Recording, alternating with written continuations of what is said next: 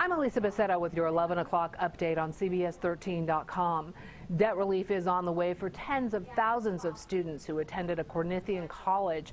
California Attorney General Xavier Becerra is just minutes away from announcing a $67 million settlement stemming from his lawsuit against the Department of Education and its secretary, Betsy DeVos.